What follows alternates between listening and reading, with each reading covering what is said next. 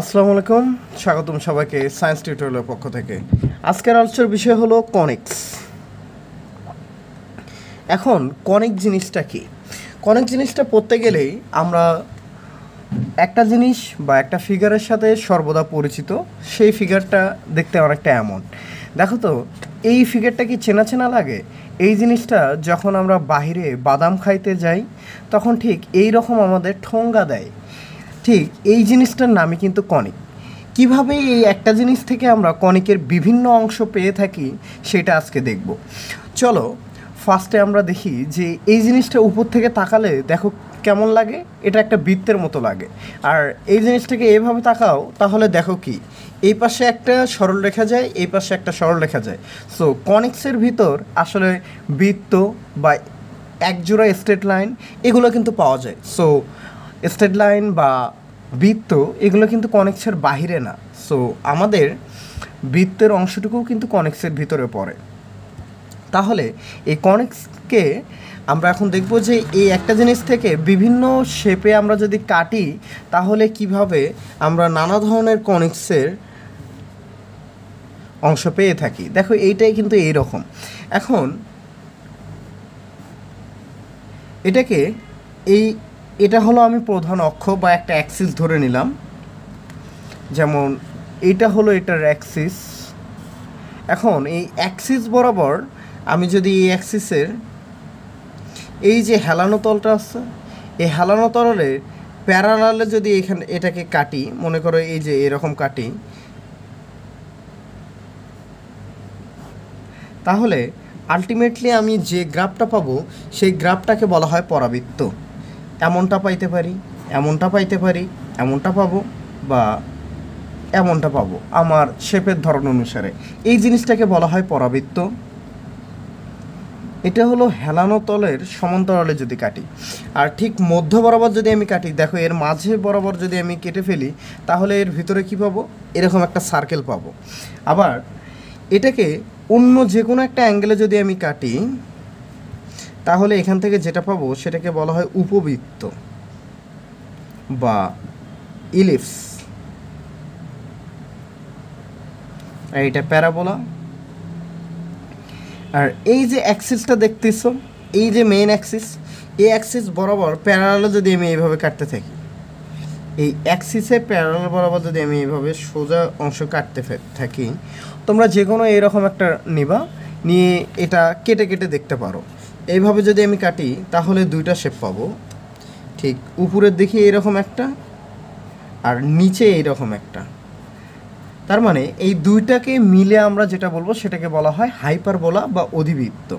এখন তোমরা অনেকে বলতে পারো যে, ভাই, এটা তো নতুন কিছু না। আপনি জাস্ট প্যারাবোলার দুইটা ভাগে নিচ্ছেন। দুইটা প্যারাবোলা নিয়ে একটা হাইপারবোলা করছেন। কিন্তু না।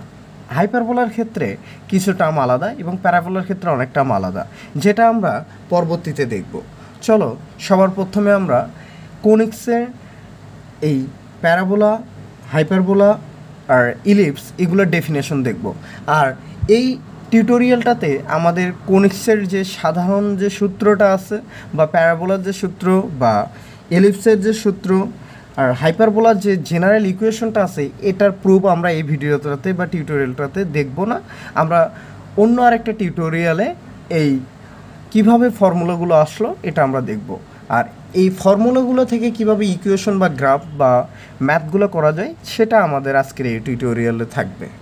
কনিক্সের বেসিক ডেফিনেশনের মধ্যে আমরা যেটা দেখব সেটা, মনে করো এটা axis X X prime Y Y prime এই অ্যাক্সিসের ভিতরে এখানে একটা বিন্দু থাকবে। এটা মেজর অ্যাক্সিস বলতেছি বা মাইনর অ্যাক্সিস কিন্তু ডিফার করবে।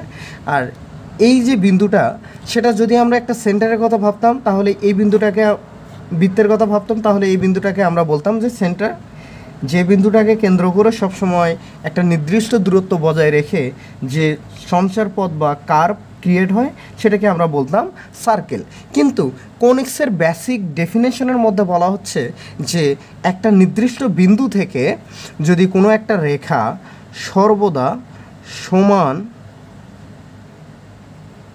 আর এর পাশে একটা রেখা থাকবে, সেটাকে আমরা বলব দ্বিকাক্ষ রেখা বা ডায়াট্রিক্স এটাকে বলা হচ্ছে একটা নির্দিষ্ট রেখা। আর এই বিন্দু থেকে ওই এই স্থির বিন্দুর দূরত্ব আর এখানকার যে লাইনটা থাকবে, তার মধ্যবর্তী দূরত্বের অনুপাত সর্বদা সমান থাকবে। তাহলে সেই জিনিসটাকে বলে থাকি আমরা কনিক্স। আর এই, এটা যদি একটা স্থির বিন্দু হয়, আর এটার নাম কিন্তু কেন্দ্র না, এটার নাম হলো ফোকাস বা উপকেন্দ্র। এখন, এটার নাম কেন উপকেন্দ্র? কারণ উপশহর জিনিসটা বলতে আমরা জানি যে শহরের ন্যায় মানে পুরো শহর না, কিন্তু শহরের মতো আচরণ করে।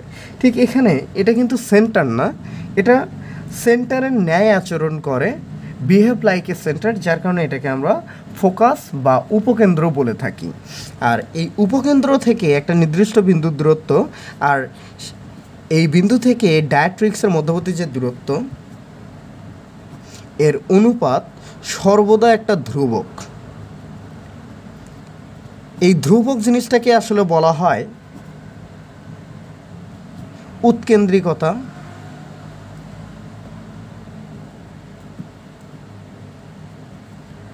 বা অ্যাকসেন্ট্রিসিটি এই অ্যাকসেন্ট্রিসিটি বা উৎকেন্দ্রিকতার বলতে কি বোঝায়?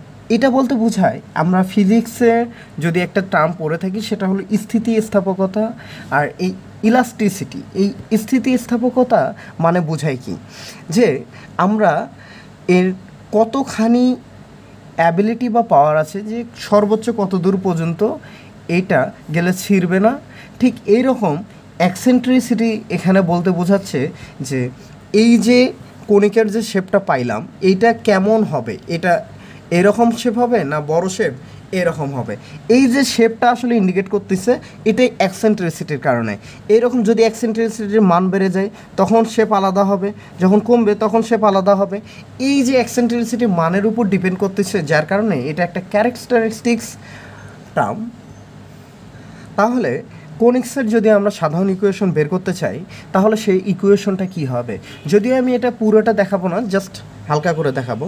দেখো, এখানে এস এখানে পি এটার এখানে ডিস্টেন্স দেওয়া আছে হলো এক্স ওয়াই আর এটাও ধরলাম আলফা কমা বিটা আর এই রেখাটার আমি সমীকরণ ধরলাম L X plus M Y plus N equal to zero দেখো এপিএম মানে কি? লম্ব দূরত্ব। একটা রেখার উপর লম্ব দূরত্বের ইকুয়েশন আমরা জানি যে L X plus M Y plus N divided by এই যে এক্সের যে সহগ বা ওয়াইয়ের যে সহগ রয়েছে, সেই সহগগুলোর স্কোয়ার এর মডুলাস অর্থাৎ এই এস থেকে পি এর যে দূরত্ব মানে এই যে এসপি ইকুয়াল টু এখানে ই ইন্টু পি এম লেখা যায় এই ইকুয়েশন থেকে, তার মানে এসপি ইকুয়াল টু কি? দেখো এস আর পি এর দুটোর মধ্যবর্তী দূরত্ব। সো এটা ইকুয়াল টু লেখা যায় X minus alpha whole square plus beta Y minus beta whole square equal to E into L X plus M Y plus N divided by root over L square plus M square এটাই হলো কনিক্সের general equation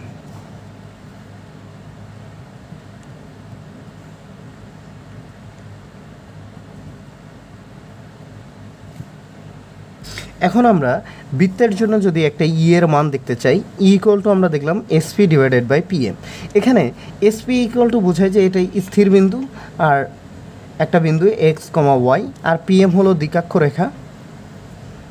এই দ্বিকাক্ষ রেখার মধ্যবর্তী দূরত্ব। কিন্তু একটা বৃত্তের ক্ষেত্রে এটাকে কিন্তু আমরা ফোকাস বলে থাকি না, এটাকে বলে থাকি সেন্টার একটা বৃত্তের ক্ষেত্রে এই সেন্টারের থেকে এই X Y P X Y বিন্দু থেকে এই দ্বিকাক্ষ রেখার দূরত্ব হয় অসীম।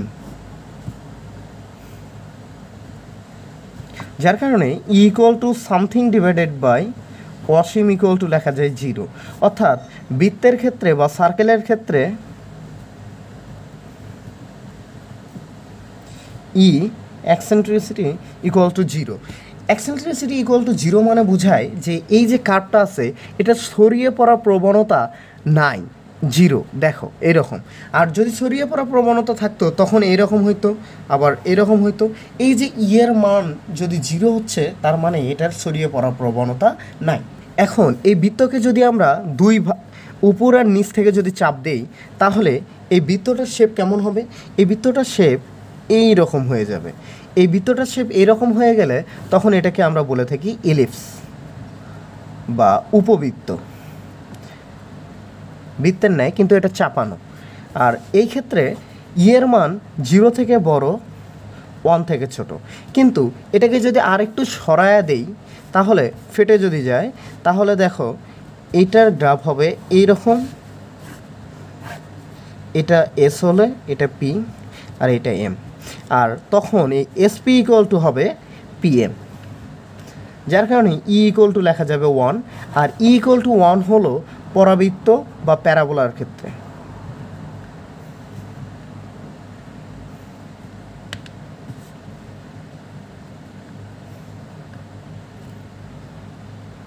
আর অধিবৃত্ত বা হাইপারবোলার ক্ষেত্রে এই যে পিএম বা দ্বিকাক্ষ রেখাটা রয়েছে, এটা অনেক কাছে চলে আসে। কাছে চলে আসলে দেখো এসপির মান এসপি গ্রেটার দেন পিএম হয়ে যায়। যার কারণে E equal to E greater than one আমরা পাই, এটা হলো হাইপারবোলা বা অধিবৃত্তের ক্ষেত্রে। এই গেল ই এর মানের উপর ভিত্তি করে কীভাবে আমরা প্যারাবোলা, হাইপারবোলা বা অধিবৃত্ত চিনব। এখন দেখো, এটা হলো আমাদের কোনিক্সের জেনারেল ইকুয়েশন ছিল বা সাধারণ সমীকরণ ছিল। এই কোনিক্সের সাধারণ সমীকরণ থেকে আমরা কীভাবে প্যারাবোলার ইকুয়েশন বের করতে পারি? এখন প্যারাবোলার ইকুয়েশনের প্রুফ আমাদের বইয়ে দেওয়া নাই, কিন্তু আমরা এটা দেখব।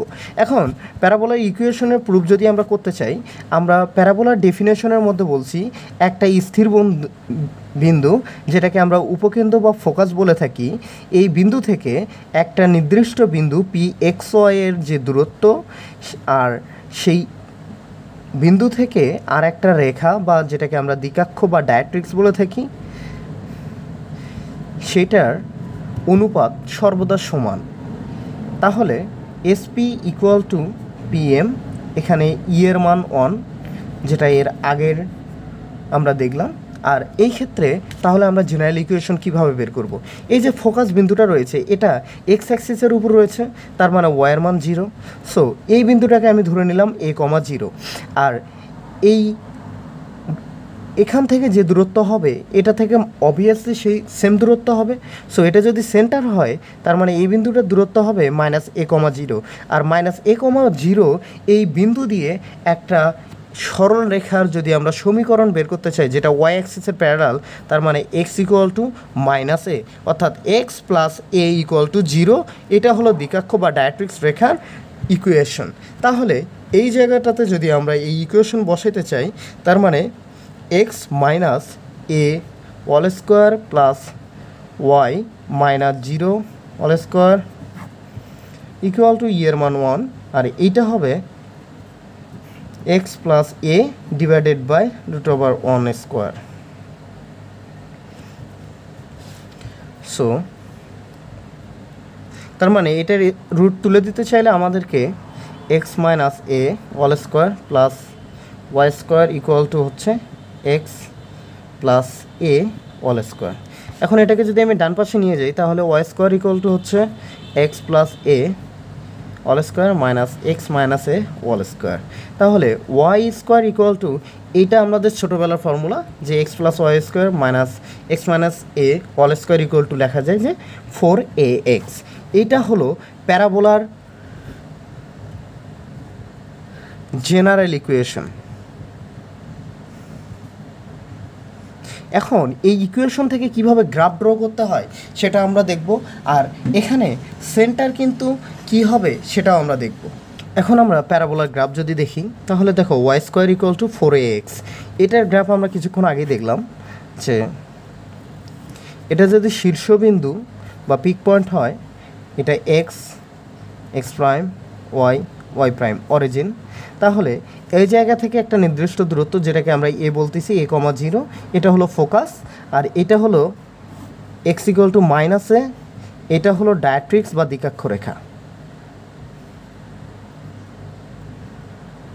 তাহলে এই যে বিন্দু এখানে হলো পি রয়েছে এক্স কমা ওয়াই এটা হলো এটার গ্রাফ।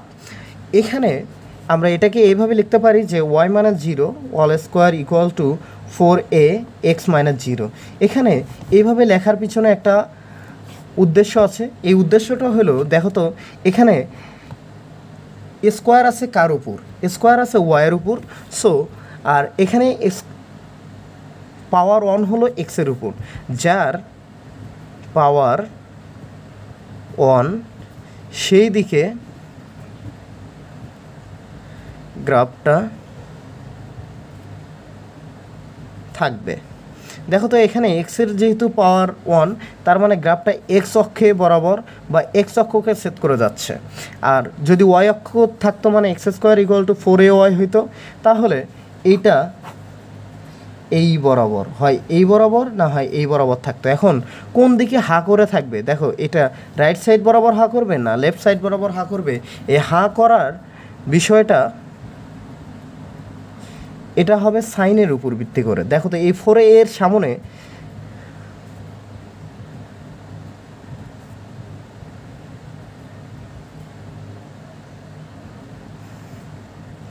এর উপর ডিপেন্ড করবে।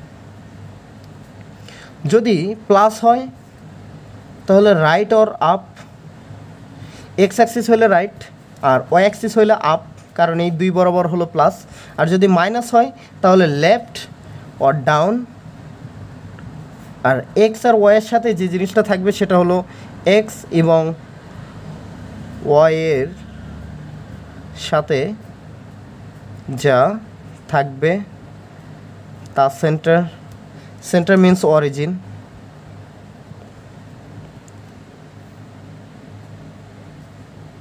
তাহলে এই কয়টা ইনফরমেশন দিয়ে কিন্তু আমরা পরের বাকি গ্রাফগুলো কিন্তু দেখতে পারি। কেমন দেখতে পারি? দেখো।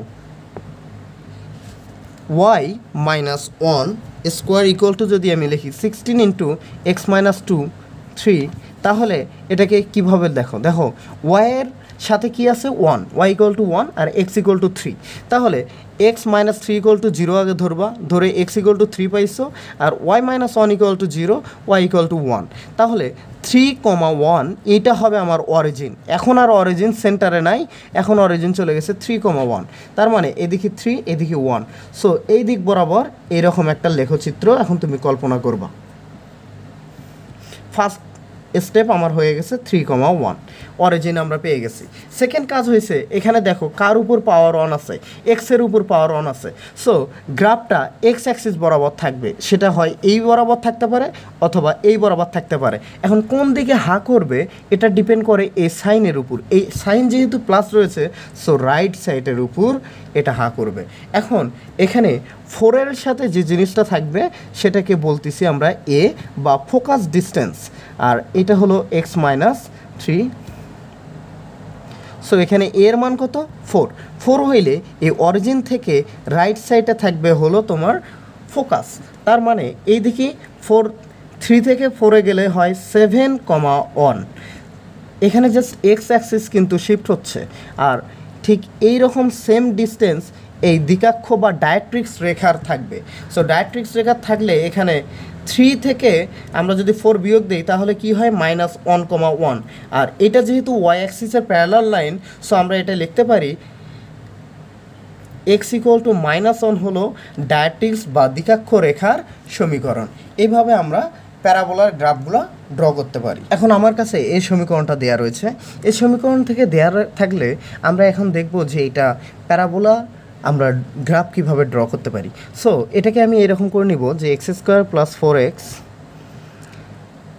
ফোরকে লেখা যায় two into two into X so এখানে টু এর উপর স্কোয়ার মানে কত হয়? ফোর আর বত্রিশ ওয়াই প্লাস এখানে যেহেতু four লেখছি so one hundred twenty eight equal to zero তার মানে X plus two whole square equal to minus plus thirty two Y plus four equal to zero এটা লেখা যায় X plus two whole square equal to minus thirty two Y plus four দেখো, এর আগের বার আমরা করছি কি? যে ওয়াইয়ের পাওয়ার দুই ছিল, কিন্তু এখন এক্সের পাওয়ার টু সো এখান থেকে যদি আমরা ইকুয়েশন বের করতে মানে গ্রাফ ড্র করতে চাই, তাহলে কি করে ড্র করব? সবার প্রথমে আমি এক্সের যেহেতু পাওয়ার এক্সের সাথে কি রয়েছে? X plus two equal to zero so X equal to হলো minus two R Y plus four equal to zero Y equal to minus four এইটা হলো আমার এখন অরিজিন সো মূল গ্রাফ ছিল এমন, এখন মাইনাস টু মাইনাস ফোর এই গ্রাফটা হয়ে গেছে এমন। এটা হলো minus two comma minus four এখন আমি দেখব যে এইটা কোন দিক হবে। এটা যেহেতু এক্সের পাওয়ার টু ওয়াইয়ের পাওয়ার অন সো হয় এই দিক হবে না হয় এই দিক হবে। এখন কোন দিক হবে, এটা আমরা ডিটারমাইন করি বা কোন দিকে হা করে থাকবে, এটা ডিটারমাইন করব আমরা এই সিম্বল বা সাইনের উপর ভিত্তি করে। এখানে দেখো সাইন কি নেগেটিভ সো ওয়াইয়ের নেগেটিভ সাইন হলো এই দিকে। তার মানে আলটিমেট গ্রাফ হবে এইটা। আর এইটা হবে এখন মেজর অ্যাক্সিস এখন যদি এটা মেজর অ্যাক্সিস হয়, এইটা থেকে এর দূরত্ব থাকবে ভিতরে। এখন এ এখানে কত? Minus four into eight into Y plus four এখন এটাকে যদি আমরা এ ভাবি four A X so A equal to হলো এইট তার মানে এইট থাকবে সামনে। মাইনাস টু যদি এই মাইনাস ফোর যদি এই বিন্দুটা হয়, তাহলে এইট বিন্দুটা এখানে কি হবে?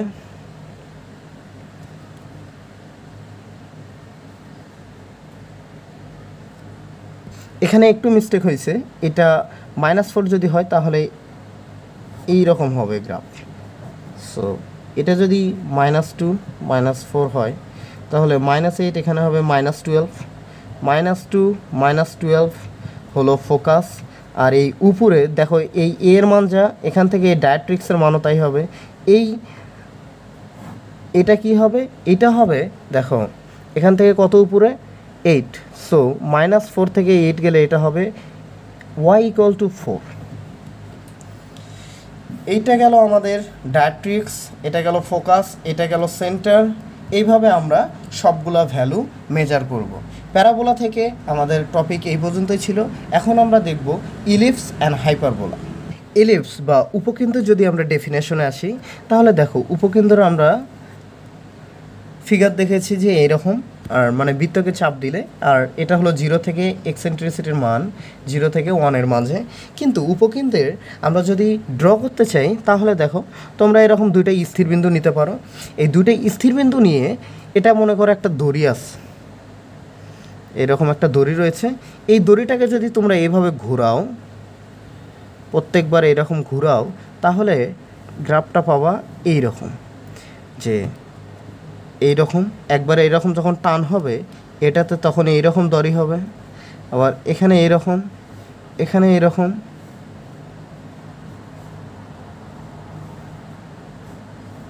এই যে বিন্দুগুলা, দুইটা স্থির বিন্দু রয়েছে, এটাকে বলা হয় ফোকাস।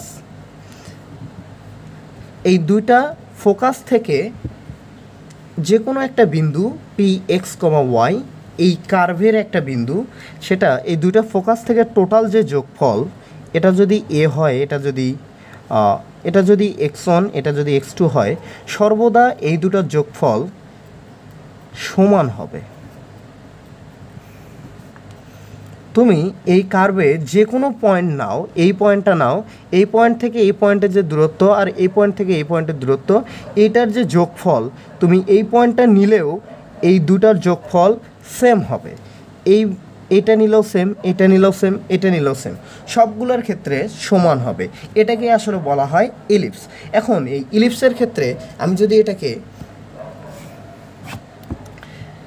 এক্স অ্যাক্সিস আর ওয়াই অ্যাক্সিস হিসেবে ধরতেছি X X prime Y Y prime তাহলে এই ইলিপসের ক্ষেত্রে এখানে যে সেন্টার রয়েছে, সে সেন্টার এটা হলো অরিজিন আর এখানে একটা সেন্টার বা উপকেন্দ্র ফোকাস ধরতেছি আমি এফ ওয়ান বা সি ধরে নিলাম সি ওয়ান এটা হলো সি টু আর এই যে দড়ির দূরত্ব আমি এই পুরো দরিদ্রত্বটা দূরত্বটা ধরছি হলো বা দড়ির দৈর্ঘ্য ধরছি হলো টু এ মানে এখান থেকে এই দূরত্ব হলো এ আবার এখান থেকে এই দূরত্বটা হলো এ এটাকে বলা হয় মেজর অ্যাক্সিস এটাকে যে অ্যাক্সিস বরাবর ফোকাস অরিজিন এবং এই যে বিন্দুটা রয়েছে এই শীর্ষবিন্দুগুলোকে বলা হয় ভার্টিসেস। এই ভার্টিসেস, ফোকাস এবং অরিজিন যে অ্যাক্সিসের উপর থাকে সেই অ্যাক্সিসটাকে বলা হয় মেজর অ্যাক্সিস। আর এই বিন্দুটাকে বলা হয় ভার্টিসেস। আর এটাকে বলা হয় তাহলে মাইনর অ্যাক্সিস। এখন একটা ইকুয়েশন থেকে কীভাবে আমরা মাইনর অ্যাক্সিস বের করব, সেটা আমরা পরে আসতেছি, কিন্তু একটা গ্রাফ আগে দেখতেছি। সো মাইনর অ্যাক্সিসের দূরত্ব আমি ধরে নিলাম বি তার মানে এটা হলো B comma zero comma B zero comma minus B এটা হলো A comma zero minus A comma zero আর এই যে সেন্টারটা রয়েছে, এই সেন্টারটার মান যদি আমি ধরে নেই সি তাহলে দেখো, এটা হলো এ এটা আমি ধরতেছি সি এই বিন্দুটার দূরত্ব হলো সি কমা জিরো এটা হলো সি কমা জিরো আর এটা হলো minus C comma zero so এটা সি এটা বি এটা এ তাহলে এটা পিথাগোরাসের উপপাদ্য অনুসারে লেখা যায় square equal to B square plus C square অর্থাৎ সি স্কোয়ার ইকুয়াল টু লেখা যায় হলো স্কোয়ার মাইনাস বি স্কোয়ার অর্থাৎ সি ইকুয়াল টু লেখা যায় plus minus root over square minus B square এইটা হলো উপকেন্দ্র বা ফোকাস বা সেন্টার এর ডিস্টেন্স যদি মেজর অ্যাক্সিসের এই দূরত্বটা দেয়া থাকে মাইনর রোড থাকে, তাহলে সি ইকুয়াল টু লেখা যায় plus minus root over A square minus B square এখন সি তো আমরা পেয়ে গেলাম এ পাইলাম বি পাইলাম। এখন কীভাবে ইকুয়েশন থেকে আমরা এইগুলো বের করতে পারি সেটা দেখা দরকার। দেখো, আমরা এই ইলিপসের যে শর্তটা এখানে বললাম, এটা যদি পি বিন্দু হয় পি এক্স কমা ওয়াই এই শর্ত থেকে বা কন্ডিশন থেকে কিন্তু আলটিমেটলি আমরা জেনারেল ইকুয়েশন বিল্ড আপ করতে পারি। এই জেনারেল ইকুয়েশন আমি পুরোটা দেখাচ্ছি না জাস্ট ফর্মুলাটা কীভাবে জেনারেট করব সে শর্ত P one C one P one C one plus P two C two এটা হলো দ্বিকাক্ষর টোটাল দড়ির দৈর্ঘ্য ইকুয়াল টু টু এ তাহলে এটা ইকুয়াল টু লেখা যায় X plus C whole square plus Y square equal to root over X minus C whole square plus Y square equal to twice A তাহলে এটা যদি লেখা যায় তা এইভাবে তোমরা শেষে এসে দেখবা X square divided by A square plus Y square divided by B square equal to one এটা হলো ইলিপসের জেনারেল ইকুয়েশন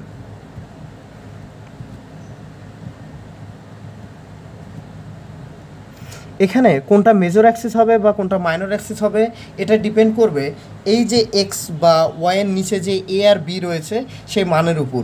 এর মান যদি গ্রেটার দেন বি হয়, তাহলে এক্স এই এক্স অ্যাক্সিসটা এটা হবে মেজর অ্যাক্সিস আর যদি বি এর মান এর থেকে বড় হয়, এটা মেজর এক্স আর এটাতে হবে মেজর ওয়াই অ্যাক্সিস এই এ আর বি এর মানের উপর ডিপেন্ড করে আমরা মেজর অ্যাক্সিস মাইনর অ্যাক্সিস বের করতে পারি। এর আগে প্যারাবোলার ক্ষেত্রে দেখছিলাম যে এক্স আর ওয়াইয়ের মধ্যে যে কোনো একটার হলো পাওয়ার টু হবে, কিন্তু এখানে দুইটারই পাওয়ার টু রয়েছে। আর মাঝে চিহ্ন রয়েছে হলো প্লাস তার মানে মাঝে যদি চিহ্ন প্লাস থাকে, আর পাওয়ার যদি এক্স এবং ওয়াইয়ের দুইটারই যদি টু হয় এবং এক্স ওয়াই রিলেটেড যদি কোনো পথ না থাকে, সেটা ইন্ডিকেট করবে এলিপস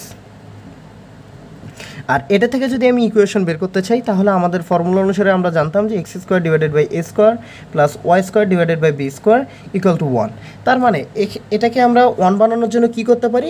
চারশো দ্বারা ভাগ করতে পারি। পঁচিশ X square divided by four hundred plus sixteen Y square divided by four hundred equal to লেখা যায় ওয়ান এখন fifteen divided by four hundred equal to লেখা যায় ষোলো বা ফোর স্কোয়ার আর এটা ইকুয়াল টু লেখা যায় পঁচিশ বা এটাকে লেখা যায় হলো five square equal to one তার মানে এখানে আমরা এ এবং বি এর মান পেয়ে গেছি। দেখো, এটা হলো এ ইকুয়াল টু ছিল এখানে ফোর আর বি ইকুয়াল টু হলো এখানে ফাইভ তার মানে দেখো কোনটার মান বড়? এখানে বি এর মান যেহেতু বড়, তার মানে মেজর অ্যাক্সিস হবে ultimately Y axis so Y উপরে দেখো ওয়াই তার মানে ওয়াই অ্যাক্সিস ওয়াই অ্যাক্সিসের এই মানটা কত হচ্ছে? এখানে হলো ফাইভ জিরো কমা ফাইভ আর এই বিন্দুটা কি হচ্ছে? জিরো মাইনাস ফাইভ এগুলোকে বলা হয় ভার্টিসেস বা ভার্টেক্স আর এখানে কিন্তু আমরা সেন্টার বা ফোকাসের মান জানি না। এখন ফোকাসের মান আমরা কীভাবে বের করতে পারছি? এখানে দেখো মাইনর অ্যাক্সিসের কি মান আমরা জানি? হ্যাঁ মাইনর অ্যাক্সিসের মান হবে এই ফোর সো এটা ফোর কমা জিরো এটা হলো মাইনাস ফোর কমা জিরো আর এখান থেকে এই বিন্দুটার দূরত্ব আমরা কীভাবে বের করলাম? এই কিছুক্ষণ আগে আমরা দেখছি যে সি ইকুয়াল টু লেখা যায় plus minus root over s যেটার মান বড়, সেটা যদি হয় এখানে যেহেতু five square so five square minus four square মানে পঁচিশ মাইনাস ষোলো plus minus root over. So এটা লেখা যায় plus minus nine equal to লেখা যায় প্লাস মাইনাস থ্রি তার মানে দেখো, এটা যদি থ্রি বিন্দু হয়, তাহলে এটা হলো থ্রি কমা জিরো এটা মাইনাস থ্রি কমা জিরো তার মানে আমরা অলরেডি উপকেন্দ্র মাইনর অ্যাক্সিস এবং মেজর অ্যাক্সিস এবং এখানে হলো ভার্টিসেসগুলো পেয়ে গেছি। কিন্তু এখানে এই ডায়াট্রিক্সের মানগুলো আমরা পাই নাই। কিছু কিছু ম্যাথে আমাদের ডায়াট্রিক্সের মান বের করতে বলছে, কিন্তু ম্যাক্সিমাম ম্যাথ বা আমাদের এখানে ডায়াট্রিক্সের মান বলে দেওয়া নাই। কিন্তু ডায়াট্রিক্সের মান আমরা এটা যদি হয় ওয়াই অ্যাক্সিসের ক্ষেত্রে মেজর অ্যাক্সিস তাহলে এটা। আর যদি এক্স অ্যাক্সিস মেজর হয়, তাহলে হবে a square divided by one minus b square এখন এর মান কত এখানে? এর মান হলো, এখানে এর মান কত? ফাইভ স্কোয়ার মানে পঁচিশ ডিভাইডেড বাই ওয়ান মাইনাস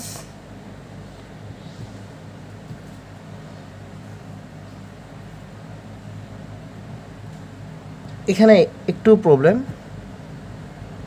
তাহলে দেখো, এখানে five square minus four square তার মানে পঁচিশ ডিভাইডেড বাই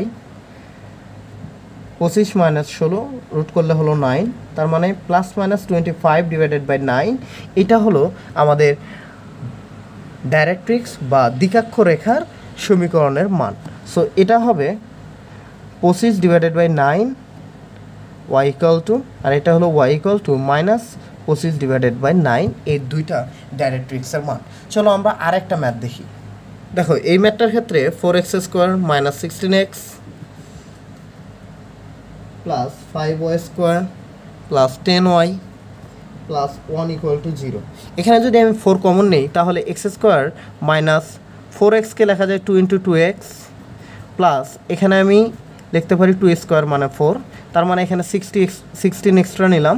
এখানে যদি ফাইভ নেই, তাহলে y square plus two y plus one তার মানে কী নিলাম? Sixteen plus five equal to হলো টোয়েন্টি তার মানে এই পাশে এসে আমাকে ধরে নিতে হবে টোয়েন্টি ওয়ান বা twenty so x minus two whole square plus five y plus one whole square equal to twenty এখানে x minus two whole square divided by আমি টোয়েন্টি দ্বারা ভাগ করলাম, তার মানে হলো five plus y plus one whole square divided by four equal to one তার মানে এখানে দেখো এক্সের নিচে মান কত আছে? ফাইভ ফাইভ মিনস হলো এটাকে কিন্তু স্কোয়ারের ফর্মুলাতে নিয়ে যেতে হবে। So x minus two all square divided by এটা হলো root five square plus y plus one all square divided by two square equal to one এখানে দেখো এ ইকুয়াল টু হবে রুট ফাইভ কারণ এটার মান বড়। আর এখানে কিন্তু সেন্টার কিন্তু আলাদা বা অরিজিন আলাদা। অরিজিন এখানে x square divided by something বা y square divided by something নাই। এখানে এক্স মাইনাস টু আর এখানে ওয়াই প্লাস ওয়ান সো সর্বপ্রথম অরিজিন বের করতে হবে x minus two equal to zero x equal to two আর এখানে y plus one equal to zero y equal to হলো মাইনাস ওয়ান তার মানে সেন্টার কিন্তু আর জিরো জিরোতে নাই সেন্টার চলে গেছে হলো ওয়ান টু মাইনাস ওয়ান তার মানে minus two comma minus one এটা হলো সেন্টার এখন এটা থেকে যদি আমি এলিপস করতে চাই, এখন কোন দিকে হবে? দেখো মেজর অ্যাক্সিস কি?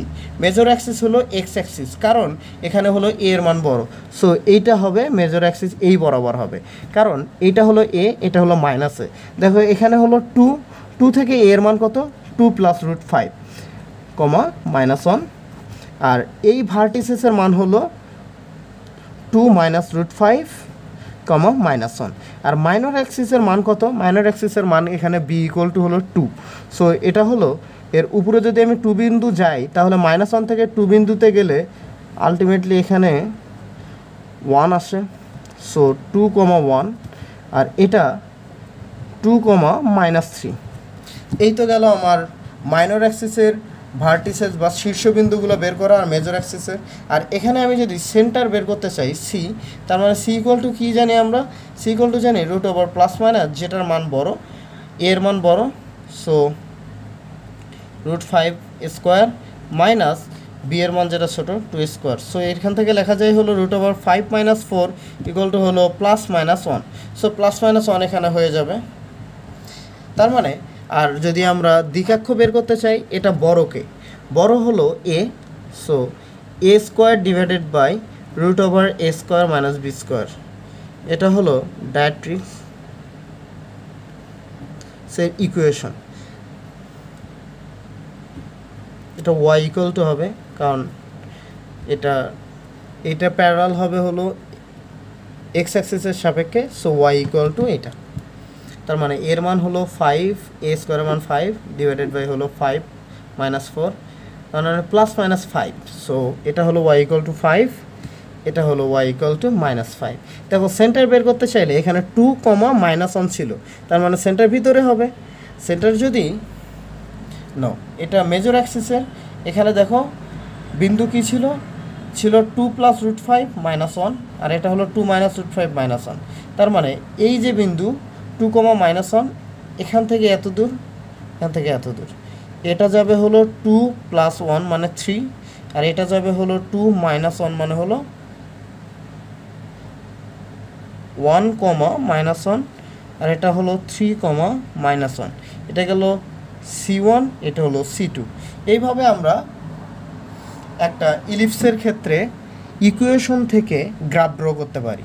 এখন হাইপারবোলার ক্ষেত্রে আমরা যে গ্রাফ জানি, সেটা মনে করো এখানে দুইটা প্যারাবোলা রয়েছে। আর এই প্যারাবোলার ক্ষেত্রে আমরা এখানে একটা দুইটা লাইন ধরে নিচ্ছি।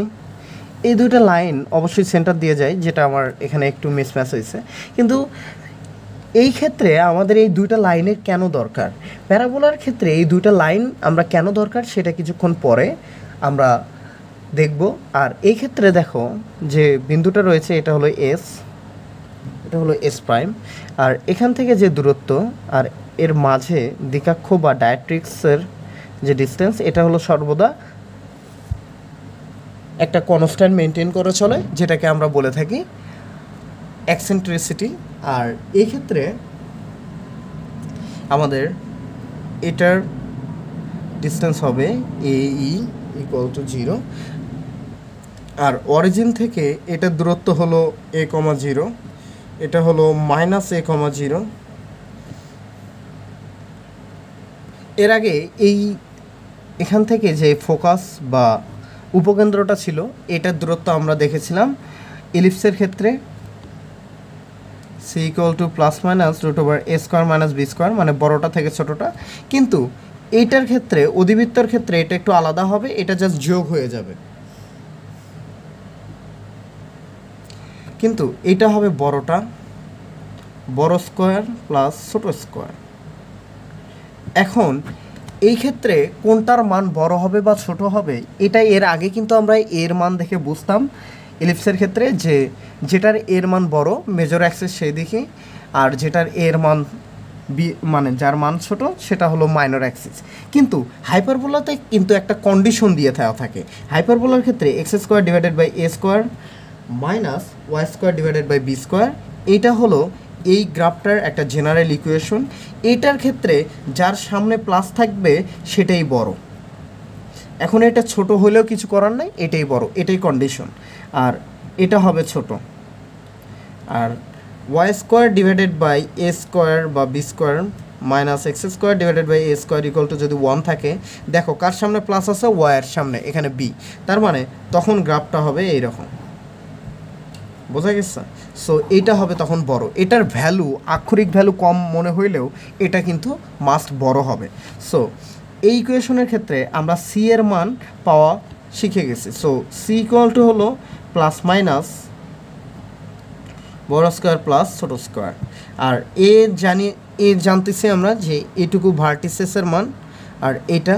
আর বি এর মান কীভাবে আমরা করব? দেখো, এটাকে যদি তুমি কাল্পনিক এভাবে ধরে নাও তাহলে এটা যে মানটা পাচ্ছ, এটাকে বলা হয় বি কিন্তু এটা আমাদের দরকার পড়ে না নর্মালি সো আমরা ইকুয়েশন দেখে এ বি দেখব সি এর মান দেখব। আর এর আগে ডায়াট্রিক্সের যে মানটা ছিল,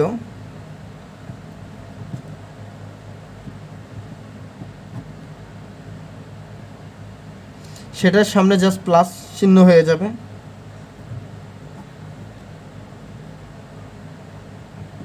এর আগে আমরা ইলিপসের ক্ষেত্রে দেখছি মাইনাস সো এখানে হলো প্লাস মানে এটা একটার ক্ষেত্রে, এটা একটার ক্ষেত্রে। এ যদি বড় হয় সো এটা এটা মানে এই ক্ষেত্রে এইটা আর এই ক্ষেত্রে এইটা। এটা গেল হলো নিয়ামক রেখা বা দ্বিকাক্ষ রেখার সমীকরণ। আর এটা গেল সেন্টার এটা গেল মেজর অ্যাক্সিস এটা মাইনর অ্যাক্সিস সো আমরা এইভাবে ডিটারমাইন করব। তো চলো আমরা একটা ইকুয়েশন দেখি x square divided by nine minus y square divided by sixteen equal to যদি ওয়ান হয়, তাহলে দেখো, এই সামনে প্লাস সামনে আছে কার? এখানে। তুমি বলতে পারো যে x square divided by three square minus y square divided by four square equal to one এখানে বড় হলো ফোর কিন্তু না, এখানে বড়টা আমাদের ধরে নিতে হবে এটাই। সো এ ইকুয়াল টু হবে থ্রি তার মানে গ্রাফটা হবে এরকম। আর এই ক্ষেত্রে বি এর মান হবে ফোর সো এর মান যদি, এইটার মান তাহলে কী হবে? অরিজিন আমরা যদি এখানে গ্রাফটা ড্র করতে চাই, এটা হবে থ্রি কমা জিরো এখানে হবে মাইনাস থ্রি কমা জিরো আর বি এর মান আমরা আক্ষরিকভাবে দেখব না। সো এক্স যেহেতু বড়, তার মানে এক্সের দিক করে মুখ থাকবে।